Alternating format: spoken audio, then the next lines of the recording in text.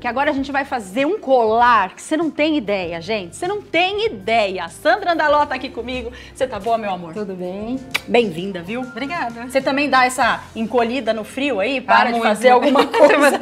não, não para de fazer, mas eu sofro um pouquinho com frio. Dá pra fazer um colar bem, bem fofinho pra é, dar uma aquecida? É gostoso, né? Porque daí esses colares aquecem, inclusive. Ai, que legal. Olha, gente, que bacana. A Sandra tá aqui pra mostrar pra gente um colar de malha. É isso, isso. Sandra? Todos esses daqui desse lado, ó, vocês podem ver, eles já estão prontinhos. E o que eu mais achei interessante é que o custo para fazer é quase zero, né, Sandra? Quase zero. E aqui é o reaproveitamento de sobras e tecidos, né, de uma malharia. Tanto você pode usar já um cone que vem uhum. da malharia, que nós encontramos em armarinhos especializados, como também podemos utilizar a camiseta, camiseta velha, em casa, já mais usadinha. Não é? Né? E, e tem muito, né, gente? Exatamente. Tem que você ganhou, Isso estimula o, o reuso de, de materiais materiais, né, de tecidos sim, que sobram sim. e promove também um valor de renda, né? Lógico, E gente. estimula a criatividade Olha também. Olha que coisa linda que ficou aqui o colar que é. ela tá usando. Anota aí elegante. direitinho tudo que a gente vai precisar para fazer o artesanato de hoje, tá? Pega o seu celular e tira uma foto da televisão. Vamos lá. Você vai precisar para fazer o seu colar de malha, um rolo de fio de malha, uma agulha de crochê número 2, uma tesoura de tecido, uma camiseta usada, velhinha, que você possa cortar, uma régua de 30 centímetros e giz para você marcar na roupa. Vai lá, tira a foto aí que eu te espero, porque você vai ganhar dinheiro fazendo esse colar, gente. Vamos lá, pronto? Muito bem. Então, se eu não tiver a camiseta, eu posso comprar pode, malha assim, né? Pode. Tranquilo. Mas eu vou mostrar aqui. onde a gente vai começar? Vamos começar pela camiseta. Vamos. Bom, temos lá uma camiseta que já perdeu a função no nosso uhum. guarda-roupa.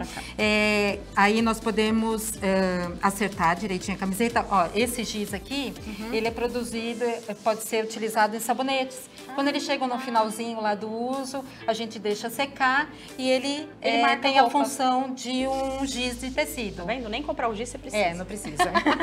então, a camiseta, acertou ela, pegamos uma régua de 30 centímetros. Ah, a própria régua é essa... É, a marcação, é a medida, a medida tá? Então, marcamos aqui, assim. Certo. E aí fazemos o corte, que vai virar... Um pedaço assim. Um pedaço assim. Ó, você cortou sem... Que é a volta. A voltinha toda, ó, gente. Tá? porque ele dá essa enroladinha, né? Isso, que é malha. a própria malha já faz. Aí que nós fazemos? Na emendinha aqui da costura, é só puxar ah. que vai virar o fio. Certo. Igual o que nós compramos, tá. que vem da indústria da Gente, malharia. Gente, olha que legal. Tá? Aí virou o fio, aí eu pego as uhum. duas costuras aqui e faço aqui, assim. Tá. Já virou a voltinha. E já aqui, ficou bonito. Já ficou. Né? e nós determinamos quantas voltas nós queremos, qual é o volume desse colar, nesse modelo uhum. específico uhum. que eu estou demonstrando, Aí né? se quiser mais de uma dessas, tem que você faz outro aí corte. Aí vou fazendo outros, outros e vai unindo. Isso, exatamente. Tá. Você não chega a cortar um desse e unir com outra parte para ele ficar maior. Pode ser. Pode ser se quiser, Aí não, é não de é acordo necessário. com a Não é tá. é necessário, Perfeito. assim fica mais fácil. Depois desta parte produzida, é só agrupar, né? Que ficou uhum. aqui as uhum. voltinhas, uhum. né? Vocês percebem que a malha estica. Aí você Nesse caso aqui, eu vou usar duas cores, então eu utilizei uma outra camiseta. Eu faço um corte, de um tecido. Olha, não tem problema de sobrar às vezes tecidos, porque tudo é aproveitado para outros gente. modelos. Né? Aí eu venho aqui, dou uma amarradinha. Uhum. Só uma amarradinha. Olha que legal. Pronto, ficou assim, tá, né? Você então, já juntou todas prontas, as, as voltinhas. Isso. Com outra, como aqui eu vou querer trabalhar com duas cores, eu fiz uhum. o mesmo corte uhum. e ela se é, enrola assim, só sozinha. Só o fato de você cortar a tirinha, ó. Tá. Cortei a tirinha, só fazer assim, ela já virou um rolinho. Gente, olha que legal. Tá? Essa daqui é a tirinha de outra camiseta. É, uma tirinha e, de outra e, camiseta. E vem cá, a, o tecido dessa camiseta, né? A gente tá falando sempre em malha aqui. Malha. Sempre tem que ser malha, né? É, Se for ter... algodão, outra, outro tecido. Não dá, algodão, mas aí dá, é, né? dá para fazer outros modelos também, tá. não vai ter a, a mesma flexibilidade. Tá, perfeito. Né? Nesse caso aqui eu estou usando uma malha, mas você pode usar uma malha que não tenha essa mesma é, flexibilidade, ela pode ser mais durinha. Perfeito. Então, tá ó, gente, o que, que ela fez aqui? Ela juntou, nesse caso aqui são quatro, né? É, eu, fi, eu cortei duas tiras e amarrou. formou quatro voltas, né? E aí a gente termina no outro bloco, combinado? Tá tudo Daí bem. a gente continua ensinando, porque por enquanto tá super facinho. E vai continuar assim, é. e depois você vai saber por quanto mais ou menos você vai Isso. conseguir vender cada um desses daqui, tá? Vamos Bom, lá. a Sandra tá fazendo com a gente um colar de malha. A gente parou nessa etapa aqui. Se você perdeu, depois você entra lá no nosso portal para você rever o programa, tá bom? Que vale muito a pena aprender. Aí você amarrou um pequenininho aqui e um grandão aqui. Isso. O pequenininho foi para fazer a junção. Certo. Né? Aí eu vou iniciar esse acabamento aqui. Tá. Que aí eu pego uns 90 centímetros, mais ou menos, de um tecido ou da mesma cor ou de outra cor. Uhum. Amarro também uhum. e começo a fazer as voltas apertadinhas. Certo. Tá?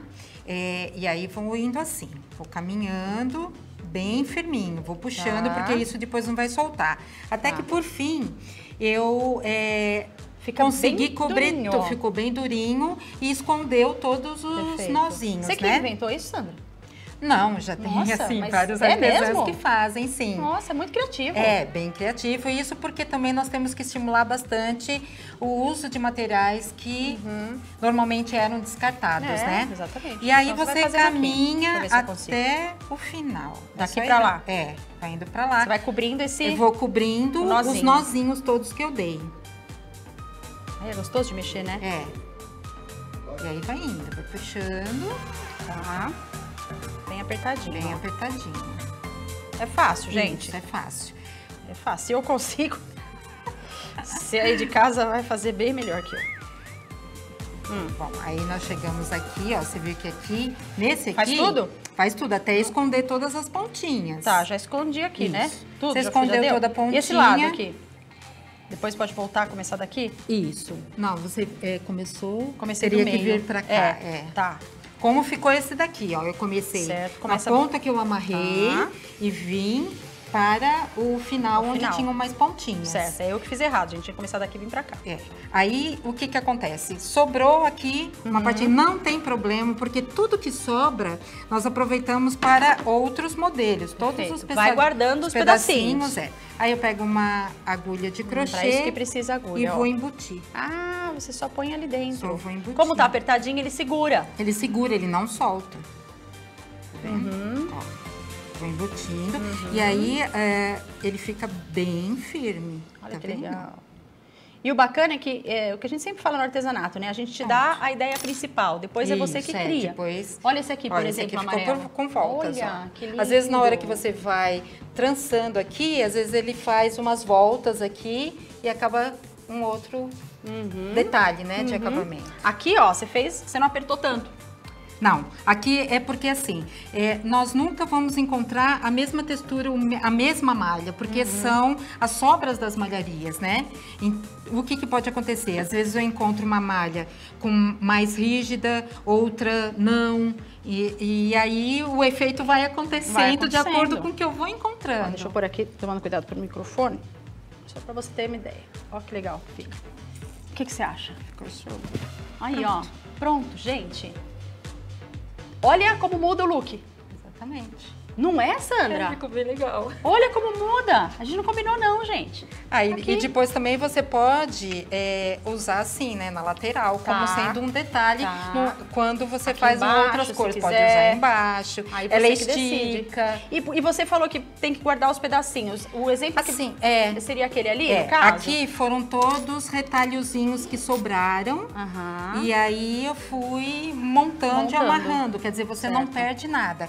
E, o de, e um um detalhe importante, eles podem ser lavados, uhum. porque é tecido, fio de malha. É mesmo, então, sujou. É, é, sujou. O Além de deles serem né? confortáveis, né, não são pesados, Muito legal. é só lavar com sabãozinho neutro uhum. e pôr para secar no sentido vertical. Confortável, sustentável, né? Bonito.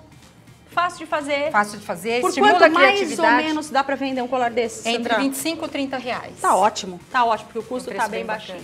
Adorei. Obrigada, viu? Obrigada. Valeu, você sempre trazendo coisas bacanas Muito pra obrigada. gente. Se tiver alguma dúvida, depois você procura a Sandra, Sandra Andaló, nas redes, ou então você revê o programa lá no portal, tá bom?